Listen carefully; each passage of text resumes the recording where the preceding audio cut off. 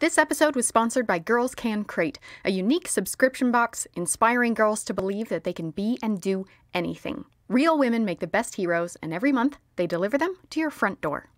And by Jill Harrigan, Heather McKinnon, Ellen Gross, Valerie Jacobson, Chantel Oliver, Jamie Lang, Maria Sanchez, Mandy Booty, Monique Harris Pixato, Caitlin McTaggart, Deborah Butler, Carrie Turner, Nicole Broder, Morgan Lewis, Stephanie Faust, and Craig Williamson. Thank you so much for being our sponsors. We couldn't do it without you. Hi, Olivia. Hi, Katie.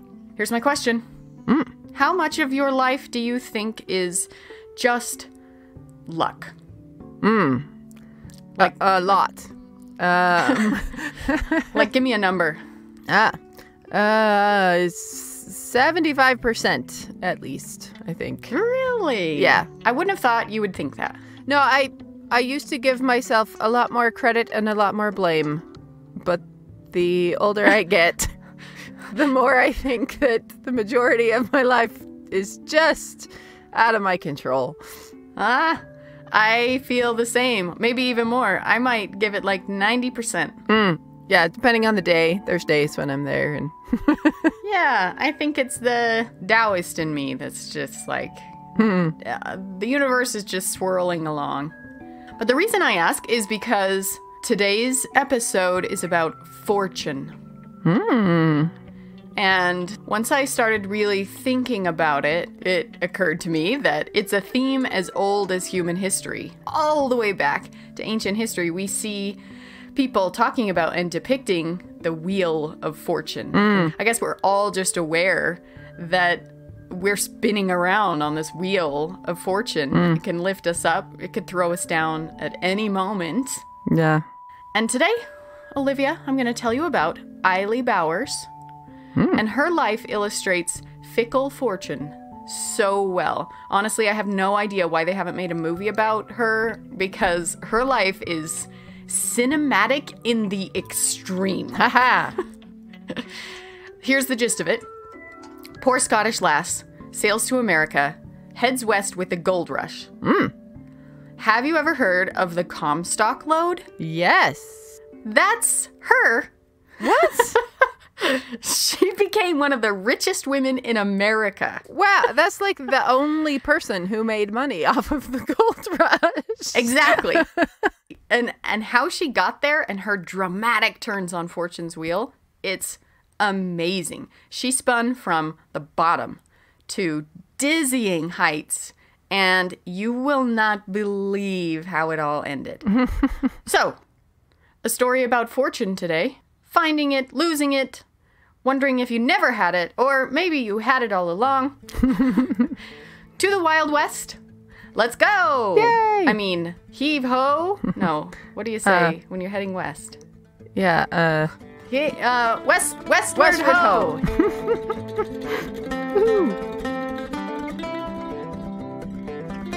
I'm Katie Nelson, and I'm Olivia Meikle. and this is What's Her Name? Fascinating women you've never heard of.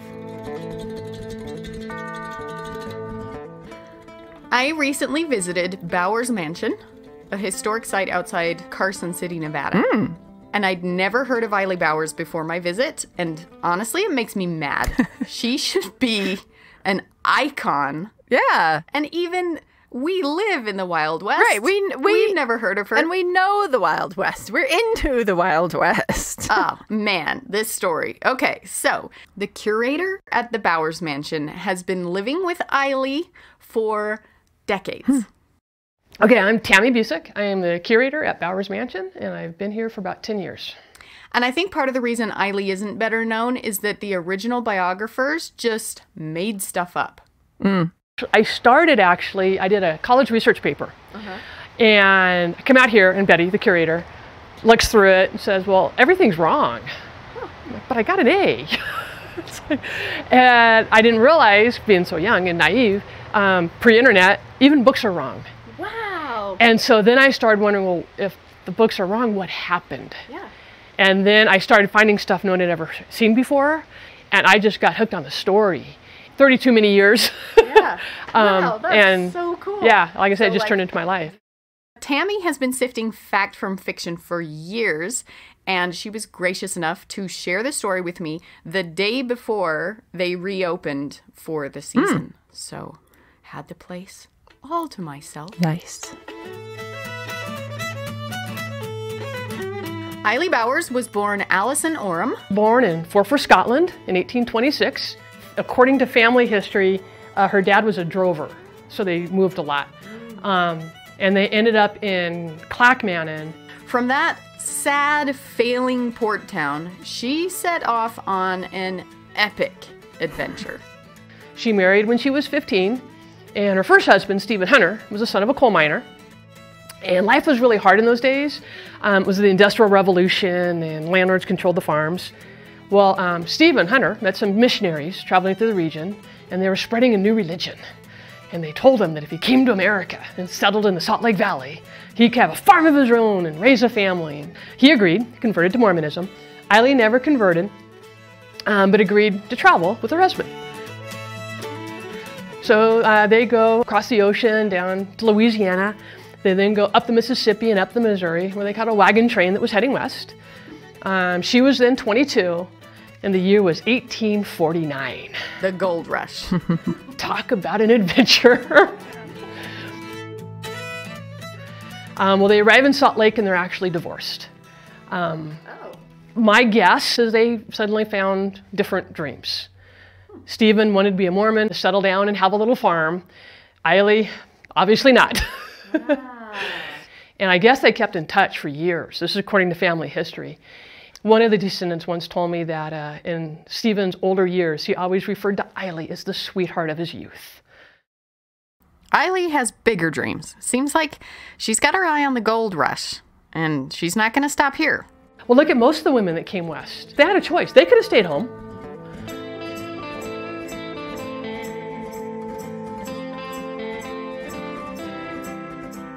So, long story short, she marries another Scottish immigrant, Mormon, and the two of them head farther west to the Washoe Valley, nestled in between the Sierra Nevadas and Virginia City. So it's it's almost California. It's far west Nevada, and it's actually really beautiful. Um, surrounded by desert, but it's got hot springs and cold springs. It's a very beautiful place. So they bought a ranch, and they brought with them her husband's orphaned nephew. Eilley kind of adopted him. And just as they get set up, all the Mormons are called back to Salt Lake City permanently. Her faithful husband is ready to go, and Eilley says, No. I don't think so. I will not be going back. Ooh. and he went, he returned without her. The nephew chose to stay with Eilley. And I think this little detail, it can tell us quite a lot. It tells us about their personalities. Yeah. It tells us about who the nephew was really loyal to. And it tells us how brave she was. that she is prepared to stay in the Wild West, way out there, all by herself. Yeah, she was very determined. I mean, she did her own thing. And just on the other side of that hill uh, was a little mining camp called Johntown, um, which is probably one of the most exciting places around. Um, I don't know how much you guys know about um, prospectors and how they lived, and they were just, they're out there dreaming. They're gonna strike it rich.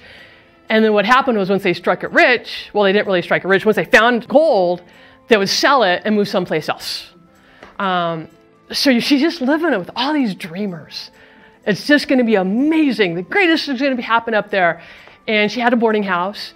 And we have stories that, you know, at the end of a hard day, they would come to her boarding house and they'd just sit around and talk. And I just picture her, I mean, she was only about yay tall, a little on the hefty side, um, just kind of running around and taking care of, care of people and making sure everything's okay and staying up late at night and getting up early in the morning to get the bread going and, you know, pulling, getting the eggs from the chickens. And I just see her as this just little Energizer Bunny type lady taking care of everything. And, you know, the stories are that she'd take the buggy over the hill. This road didn't even exist. I'm not sure how she went, but she'd bring the buggy down here, um, and that happens to be the property we're on right now. Beautiful property, hot springs, cold springs. I mean, it's just an amazing piece of land. But she'd bring the buggy down here and use the hot springs and do laundry for all the miners because the mineral waters were so good for laundry. Now, she's an uneducated woman. Can she read? I don't know. I don't think so. But Eilley is savvy. She must have been overhearing some pretty interesting conversations at the boarding house. Right, you'd have all the inside scoop. Yeah. Plus, she has her crystal ball. Uh, what? Um, she actually had a crystal ball, and she would tell her fortunes, and uh, she was really good at finding lost things and things like that. And it was always just a fun little parlor trick, and it to me it was probably one of the best times of her life. I mean, she was free, it was exciting, everyone lived the dream. So it's a good time, but it's not a rich time.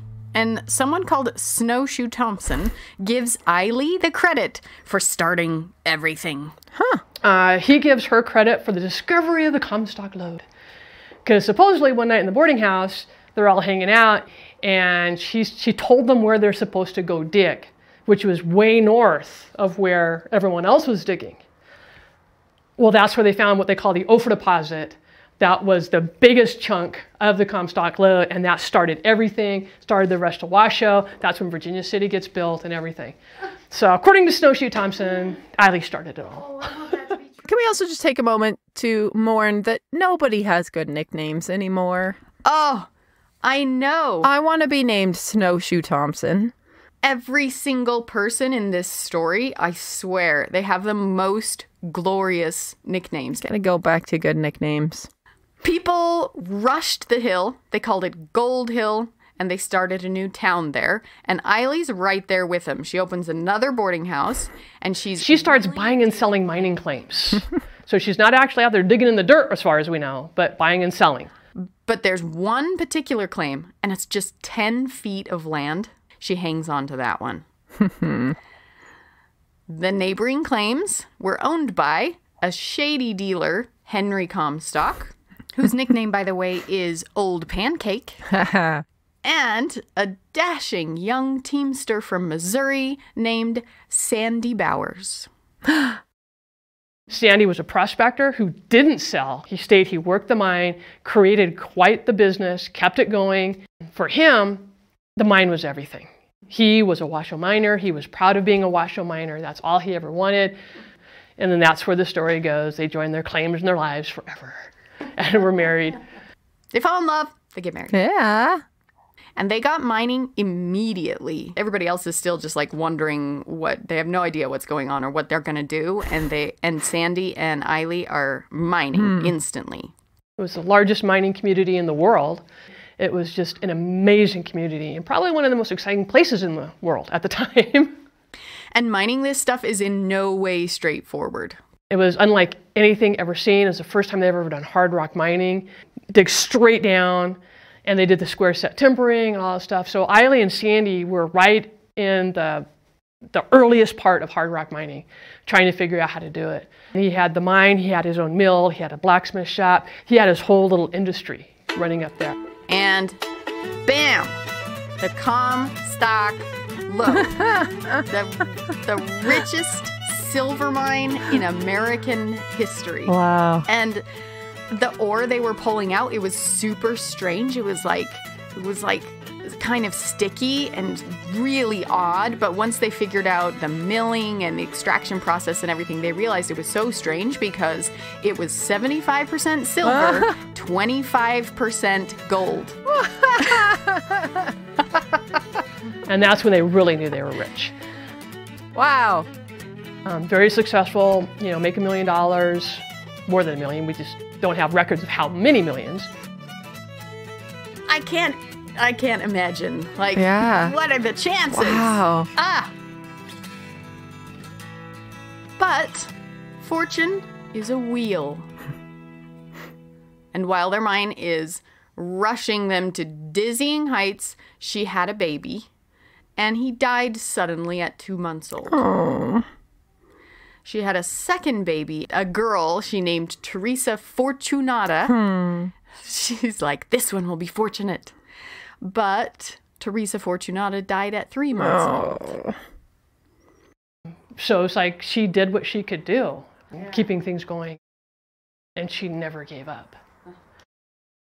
They planned the construction of a grand mansion right in the Washoe Valley where she had washed laundry in the springs at the boarding house years ago. The cool thing, because so many of the millionaires, they build their houses in nearby cities, but not the Bowers. So they decided to build their mansion near the mine so he could keep working. Eilley was all about this. She loved her house. She loved spending money. Um, some people say that she spent all their money, which isn't true. Um, she spent a lot of money. While it's under construction, they take a tour of Europe, as you do. Mm-hmm.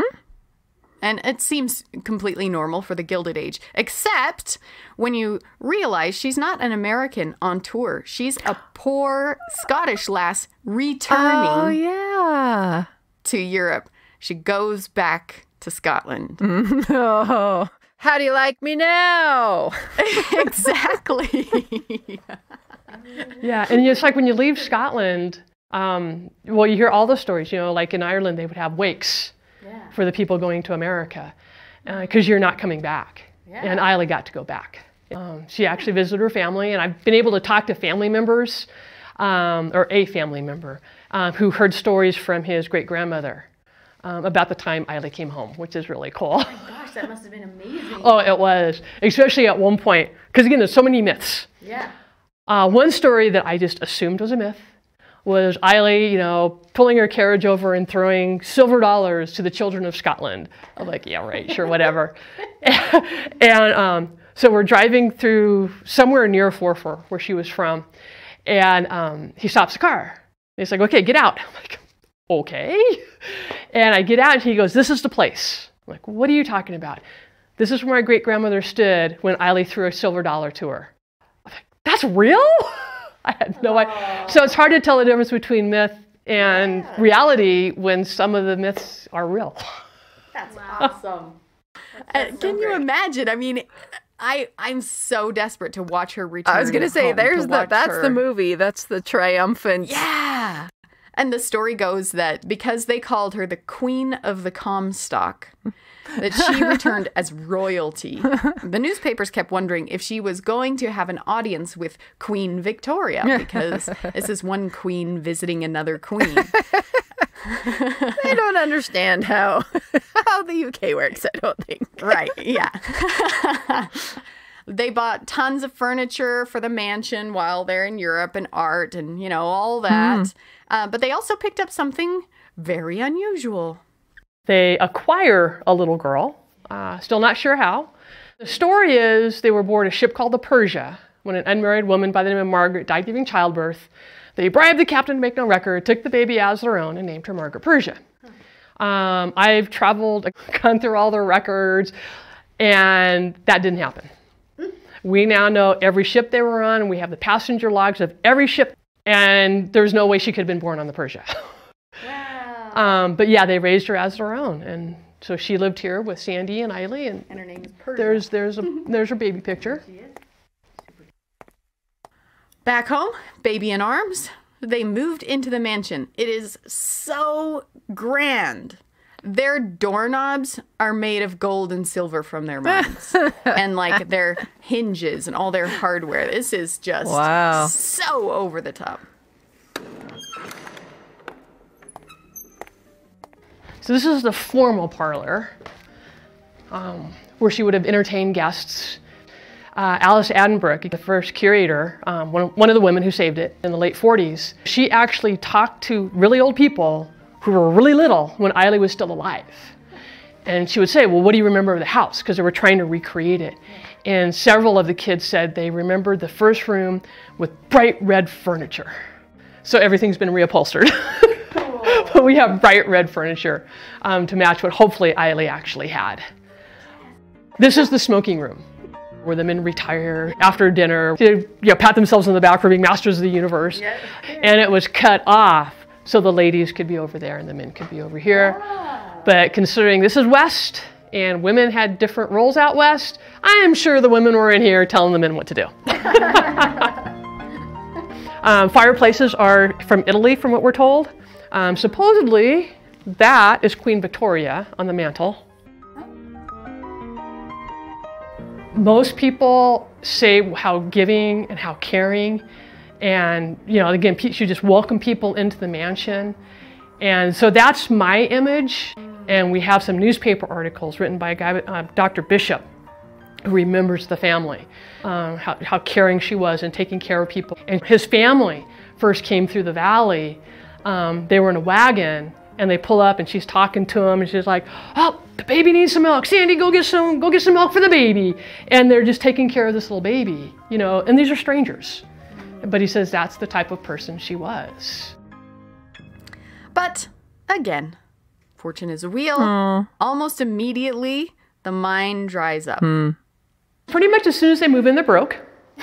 so that didn't quite work out for them. Other mine owners would have just closed it up, walked away with their millions intact, hmm. but He took care of his men. He wouldn't lay them off when the mine played out. He kept paying them, took care of everyone until they didn't have any more money to keep it open any longer.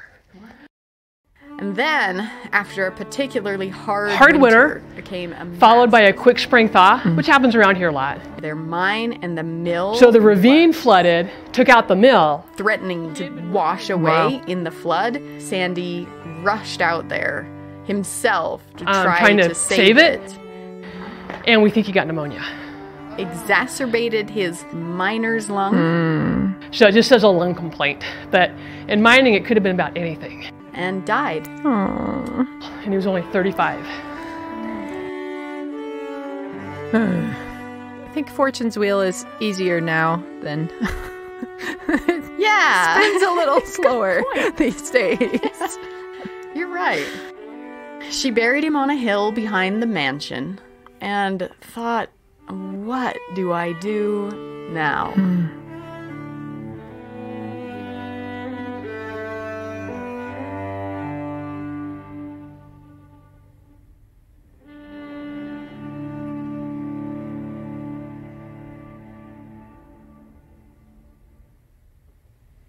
Let's pause for a moment to thank our sponsors. Girls Can Crate is awesome. And I know some parents are like us staring into that yawning, empty chasm of summer, realizing we've got to find something new for our children to do.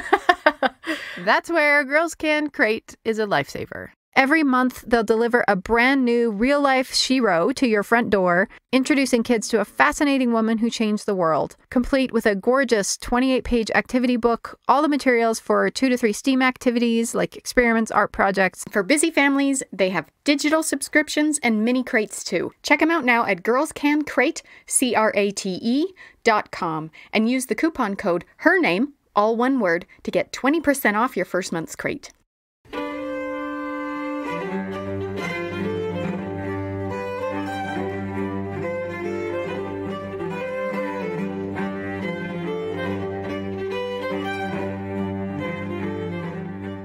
The Transcontinental Railroad was just completed. Hmm. Railroads are the future. And so she and she has a seer stone. Yes! she could see the future. And then I'll show you Eileen's favorite room. She knew that the railroad was coming and people were coming. And so she said, Huh, I will now turn my mansion into a resort. Ah. and the kitchen. This is her favorite room? Well, this is where she spent all of her time. Because especially in those days, this is a room that where you could heat it up. And um, when she turned it into a boarding house, um, this is where she would have worked from. And so she would have spent most of her time in here. And everything we hear, she was a hard worker. She never had servants. She's keeping up this house herself. She's doing all the work. Wow. And her gamble paid off. The railroad did arrive, just as her crystal ball predicted. You can see about halfway between here and the freeway, um, there's like a little line of fence post out there. Uh, that is the actual uh, V&T right-of-way. So that's where the Virginia and Truckee Railroad came. And so then you can like, come down for a picnic. And, and, right about the same time, a second vein of silver was found in the Comstock. Mm. They do find silver further down, and it becomes the Big Bonanza. And the strike was bigger than the first one,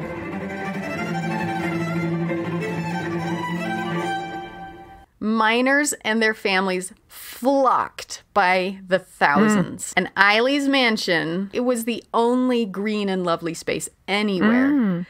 And she hosted picnics. and when I say picnics, I mean like massive festival events, the highlight of the year. Right. Fate. The picnic years are always fun to read the old newspapers as they're leading up to the picnics. It's like, you know, this is where you want to buy your food. This is the fancy hat for the season. Make sure you have your new hat because you had to have a hat. the biggest picnic of the year um, was the Miners Union. The only time they ever closed the mines was so people could come to Bowers. People would start meeting way before the sun even came out. And the railroad, first they'd pick up people in Virginia City. Then they'd go down to Gold Hill and bands would be playing and the cars were all decorated and they would actually add more cars. Most of them were flatbeds um, with just chairs, you know, that's really safe. Um, then they'd go down to Silver City and pick up some more. Then they'd go all the way to Carson and pick up some more. Um, according to the newspapers, the longest train ever going through Washoe Valley was coming here. And so, you know, it'd stop here and people would start getting off and they said you couldn't even see the end of it. And, you know, people would drop off all along and they'd come out here. At one time, there was a boardwalk that went from here to the railroad, you know, because you don't want ladies soiling their dresses. It's mis- and that's about a half mile. Yeah, she had the fountain, she kept the, gra- the grounds groomed. And over here behind that fence, there's a round pool, stone lined, just like the mansion. And that was a hot spring pool, It had an island in the middle. Then out here in this grassy area was another big pool. Um, it was deep enough to have a diving board. Don't know how safe it was, but yeah, they had a diving board out there. You could swim, you could play. They had games. They had bands playing all day long. They had their, you know, bring their picnics. And it was a full day event, and they wouldn't get home until well after dark. What boy or girl ever forgot their first picnic at Bowers Mansion in Washoe Valley, where for the first time in their lives they saw clear running brooks, great pine trees, wide meadows spangled with flowers, and beyond the meadows the shimmering expanse of Washoe Lake? It was a trip to paradise.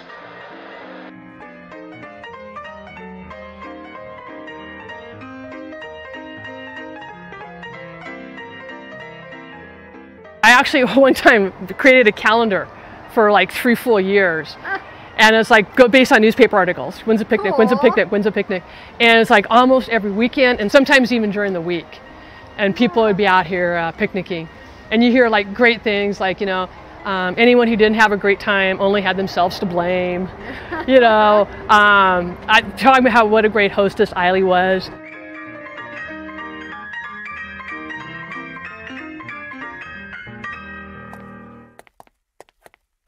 Oh, yes, see Persia's room. But fortune, it's a wheel. Persia's rooms. And we believe that little uh, glider is hers. Oh, And these are these, are, of course, my favorite rooms, and these were my favorite to decorate. oh, come on. And I do ha- I do have tea parties when no one's around. Persia, age 12, died. Oh. They think her appendix burst. Oh. I know. Oh. These dolls were all donated. All the other dolls you see in the house um, are mine. Really? I've always wanted little China dolls, and so now I buy them and bring them in here. How awesome! And I try to have a little bit of Persia all over the place. Um, and when I give the tour, I literally go through the history. So we start with Eilley, they become rich, we come up here, we talk about Persia's birth, we talk about Sandy's dad, we talk about the picnics, and then we go down to the downstairs bedroom. Um, Persia lives in Reno, because she actually went to school there for a while. And that's when um, she got what we believe was appendicitis and actually died while living in Reno. And so when I, I tell that part of the story downstairs, there's like a little doll in the bed. And so it's kind of like Persia leaving home and never coming back. Yeah. How old was she? Uh, she was 12 years old. And so again, for Eilley, that would have been devastating. Um, Sandy died in 68. Uh, Persia died in 74. And so, yeah, she had lost everything.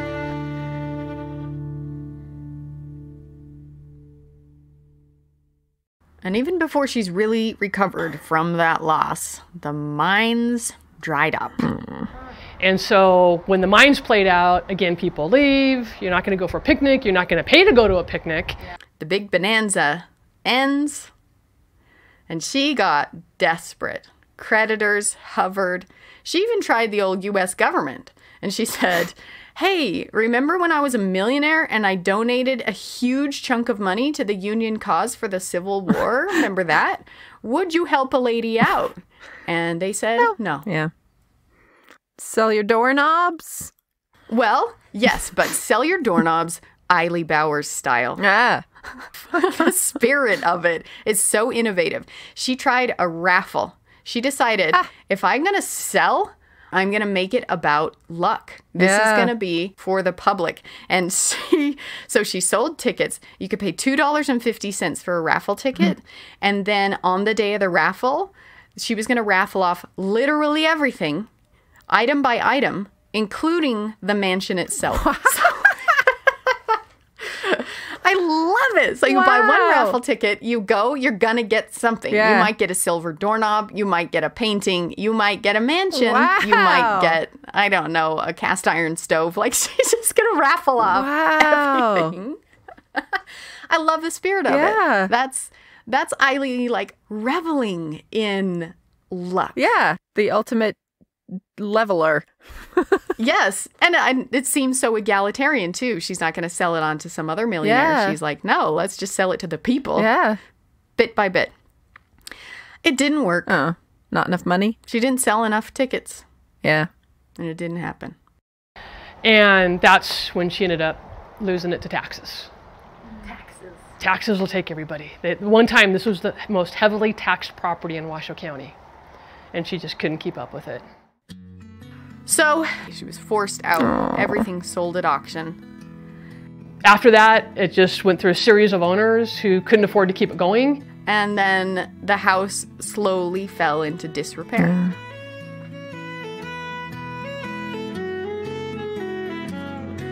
So now what? All along, she'd had that crystal ball. Hmm. And she didn't tell me fortunes too much in the mansion, just a, a fun little entertaining thing. Yeah. Um, after she lost the mansion, uh, she actually manages to turn it into a career. Because again, Eilley does not stop. She became a wandering fortune teller for years. Wow. It was part of her Scottish heritage. Uh, we do know there were a lot of uh, Scottish fortune tellers, um, the crystal ball reading and everything. She predicted people's deaths. She predicted a great fire that burned Virginia City to the ground. It, it actually did happen. a lot of people really believed whatever she predicted. They called her the Washoe Seeress. Ooh. See? Nicknames. Yeah, nicknames. But she's like a, a kind of shabby, kind of crazy old lady. Yeah. People were buying fire insurance when she said there was going to be a fire. So Um, but again, she's hit and miss. So, you know, it's like, I could guess too. Yeah. But yeah, it was in slow news days, it was always in the papers.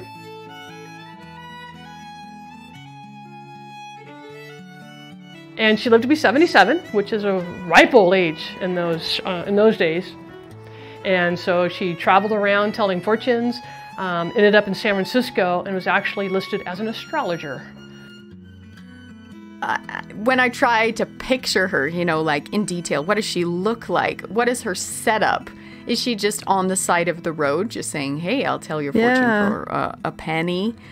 Um, and a lot of people know her, and they they go to see her not really because they want their fortune told, but because it's a way to support her. Right.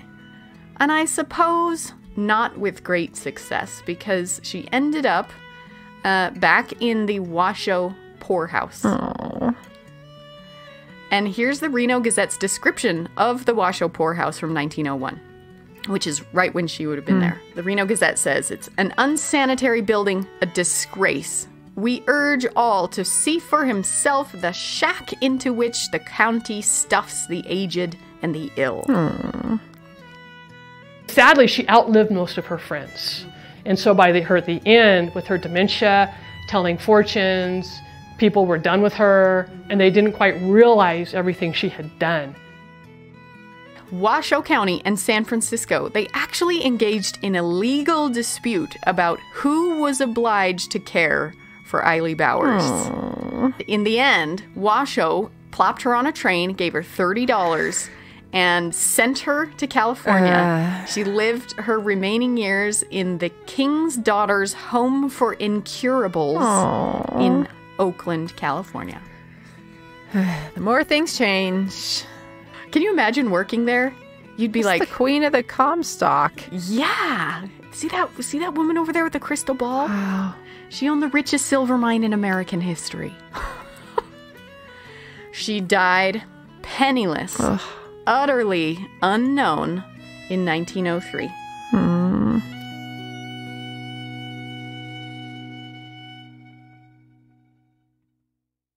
But the house, even though it sat there decaying, it was still a destination for people. The house maybe never was really hers. It was for the people, like from the very Yeah. beginning. Eilley, we know, didn't have any children that lived to be adults, um, but it's always been a home for children.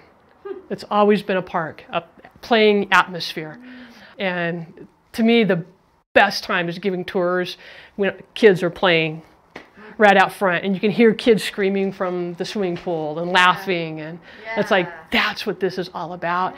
That's what Eilley loved and that's what she kept going and everyone after her has managed you know to keep it going So, a fundraising campaign began in the 1940s to restore the mansion and to make the grounds a public park. And thus it has been ever since. we grew up playing there. you know, our parents grew up playing there. Our children grew up playing there. We've got to keep that going. I didn't. I knew how important Bowers Mansion was, but I didn't realize it until the, my first year as curator out here. Um, because of the recession, it closed down for five years. I come in, start doing inventory. We start changing everything. We're figuring out how we're going to do everything. We still hadn't figured out how to do everything. And we're like, okay, let's have a quiet opening the weekend before Memorial Day weekend, because no one will know we're out there. We'll take a few people through, try the new tour, get things going, and the press found out. And the first tour was like two people. It's like, yay, we got two people. The next tour was like 20 people. the next tour was like 50 people. Through the entire weekend, every tour was so big, we, we didn't know how to handle it. Tour after tour after tour, just full of people. And I swear this is true, this is not made up. On Sunday, the last tour, I'm down there and there's like 10 people. I'm like, oh, thank God. Just a few people. I might be able to survive the day. And I'm standing up by the fountain and I look down, you know, this little road that you came in on. I look down that way. I swear it was like Field of Dreams. A line of cars. I was like, oh my God. And every, they're parking everywhere. And they're all coming on the tour. And it was just amazing. And every time people would be telling me their stories of them coming out here and how thankful they were that it was open again because it was part of their history. And when she told me that story, I got chills because the hmm. visuals. I mean, I was looking out at the Washoe Valley, the symmetry. There's the endless train cars coming to the picnics, and then there's an endless train of cars coming back when the mansion's open again. That's awesome. A couple Fourth of Julys ago, they guesstimated around 2,000 people out here. Wow. It was insane, and I couldn't even imagine the Miners Union picnic. Uh, right. And you just, you know, it's like, I am so thankful to have this job. It's like, I get to take care of this home that has so many good memories for people. Oh, yay. So cool.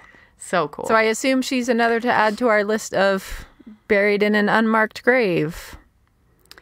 Oh, actually, no. Oh. Somebody, a sympathetic owner in the meantime, in the between years when it was decaying, and he had her ashes brought to Bowers Mansion. Oh, And so now all of them, the three kids and Sandy and Eilley, they're buried together on the hill up above the mansion. And that's one of the traditions for people when they visit. They go and they picnic and they hike up to visit the graves on the top of the hill. oh, that's awesome.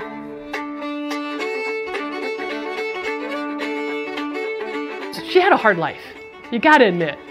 Crossing the plains in 49, living up in Johntown, running a boarding house of this size. This is not a little boarding house. I mean, it was a resort, the picnics and everything. And then, you know, telling fortunes and traveling around, and, you know, that was a hard life. To me, the coolest thing is she never gave up, no matter what. And so that's what we like to, to think of, not, you know, the end. Because the end is kind of sad. But then again, when I look at from the time she left Liverpool um, in 1849 to the time she lost the mansion in May of 1876, in my entire life, I will never have even close to that adventure.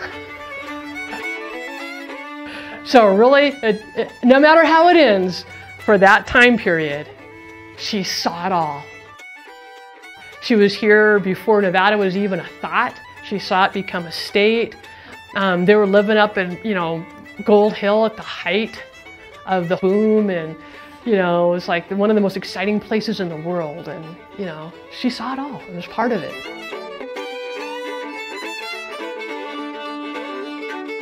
The story is so amazing of everything that she did and accomplished. Things slowed down at the end, but you know, hey, I'm retired. Things are slowing down for me too.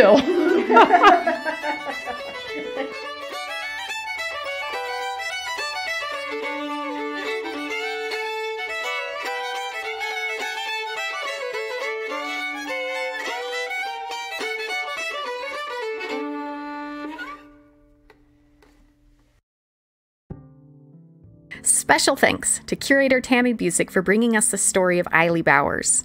If you want to learn more about Eilley Bowers, visit our website, what's her name podcast.com, where we have lots of photos from my trip to the mansion, links to more resources, including a booklet about Eilley Bowers written by Tammy Buzick. Or you can visit the mansion itself. It's outside Carson City, Nevada. I highly recommend it. Our newsreel man is James Henderson. Music for this episode was recorded by Andy Reiner and Jon Sousa from their album Canyon Sunrise, Half Pelican, and an antique player piano. You can find links to all this music in our show notes at what'shernamepodcast.com, and this interview was recorded on site by Meredith Henderson. You can also follow us on Instagram, Twitter, and Facebook, where we post all kinds of additional content each week. We're so grateful for all of our sponsors. You can become a patron for as little as a buck a month to help make more episodes happen, and participating at different levels gets you all kinds of rewards like subversive cross stitch patterns, trading cards, and more. You can find everything by clicking donate at what's her name podcast.com. Thank you for donating. Thank you for listening.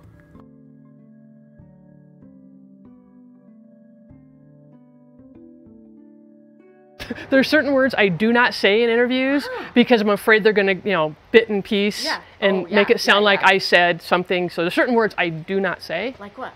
Like I'm not going to say it. I will.